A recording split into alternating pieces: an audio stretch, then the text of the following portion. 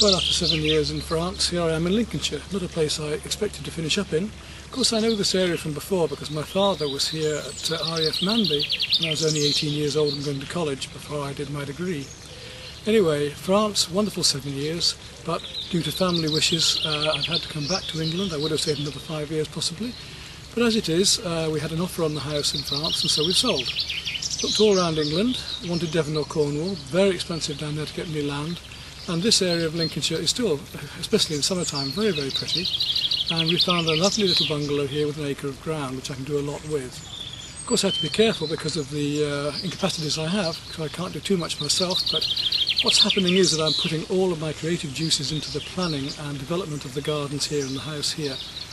It's uh, a whole clean slate, absolutely just virtually a field when I came, an old pond, many of the trees have been cut down, and it's just open to my development. So with the help of various professionals locally and my friends and my uh, and my fiance and her son, we're managing to get quite a bit done, as I'm going to show you in this film now, because I thought you'd like to share this. I thought you might like to see the development of the gardens, um, ideas for yourselves, and just to share the life and the fun that I'm going to have now here. Quite, quite different. It's been quite a traumatic experience leaving a place that I love so much and have spent so much time and work on, of course, and it's very, very different coming back to England. There are pluses and minuses. The worst of all were having to get rid of my artwork, which I, looking back on it, wouldn't have done in that way. I offered it to uh, an auction in London, and they didn't do it well at all. They didn't catalogue it well, they didn't do it properly. Rather upsetting, as you can imagine um, degrading and, and uh, a lot of hassle and sweat.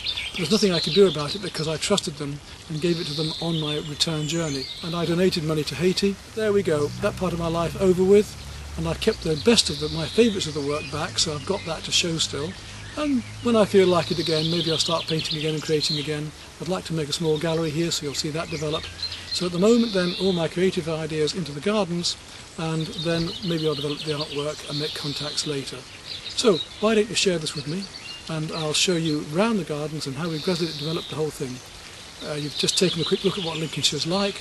As you see, there's Lincolnshire wolds and then it comes down to this more flatter fen-like area. And of course we've got the sea only a quarter of a mile from us here where the tide goes right out and right in for miles. So it has, as I say, its very own beauty, quite different to France.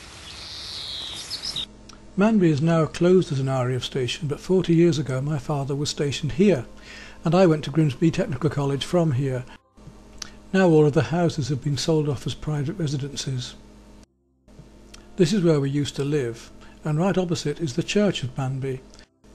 Very sadly, in its grounds are many more modern graves of airmen killed in the Second World War.